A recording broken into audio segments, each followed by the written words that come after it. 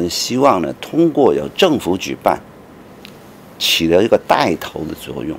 因为呢，国家安全输入全民的教育，国安法里面也说得很清楚，维护国家安全是所有同胞的责任，所以每一个中国人都有这个责任的。今年的四月十五日是中国第六个全民国家安全教育日，也是香港国安法在香港颁布实施后的第一个全民国家安全教育日。日前，香港保安局局长李家超在接受中新社记者专访时透露，今年的国安教育日活动首次由香港特区政府主导及筹备，意义重大。国家安全委员会秘书处负责统筹，将于十五日当天举办开幕典礼及专题讲座等活动。当天第一，我们重点的觉悟呢，就是一个开幕典礼，加上啊，我们有专题讲座。我们谈到的主题呢，包括政治安全、啊经济安全、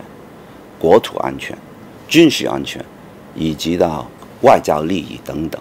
这个讲者呢，都是很有分量的，谈的议题啊，啊是很重要的，也很重点的。其中一个重点就是我们在十五号早上，我们选了三个点，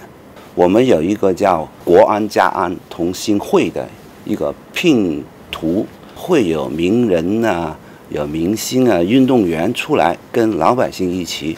啊拍照啊，之后呢把这个照片啊拼出来，放在这个拼图上。李家超介绍，今年香港保安局辖下的包括香港警务处、入境事务处、海关、政府飞行服务队、消防处、惩教署等纪律部队将在训练学院举办开放日，重点主要围绕香港国家安全教育展开，通过展览、表演等形式，增进香港市民对国家安全及纪律部队的了解。我们是以国家安全教育为我们的重点的。第一，我们有展览关于啊宪法。基本法、国安法等等，我们也一些展览关于我们的器材，包括枪械，去怎么处理国家安全的一些案件。当然，警队有啊这个反恐的一个表演，这个反恐也是我们维护国家安全的一部分，也是利用这个机会的让他们啊更了解每个部门的工作，让这个老百姓跟纪律部队的关系呢的拉近。谈及国家安全教育的重要性，李家超坦言，过去几年间，香港的本土恐怖主义有滋生的趋势。他透露，在2019至2020年间，警队曾处理二十余个与恐怖主义相关的案件，其中就包括曾查获十公斤的炸药，以及被称为“撒旦之母”的强烈炸药 TATP。李家超表示，恐怖主义活动严重危害了香港和国家安全。而香港纪律部队凭借高效的情报工作，将这些案件置于未发。在保安局以下呢，只是建立一个跨部门反恐专职组的，六个纪律部队都是成员，六个纪律部队都会参与收集情报。那么每个领域都有它可能涉及到恐怖活动啊、暴力行为啊、危害国家安全方面的一些活动的。那么这个情报。网是非常重要。另外呢，我们的纪律部队其实是个人很优秀的。啊，在国安法出台之后呢，你看我们警队可以在很短时期可以立即执法，而且呢成绩有目共睹。李家超指出，目前香港纪律部队约合计有七万人，人数占特区政府工作人员的三分之一以上。由此可见，维护国家安全对于香港的重要性。